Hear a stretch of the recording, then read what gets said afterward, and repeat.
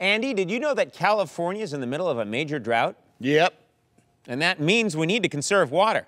Nah, I'm too lazy to save water.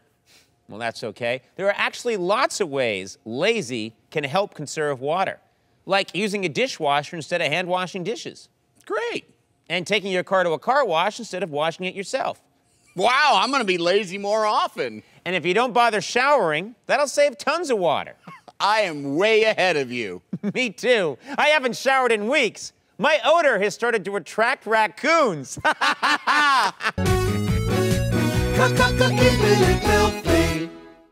During this historic drought, we can all cut water use by 20%. Find out how at saveourwater.com. What's your 20%?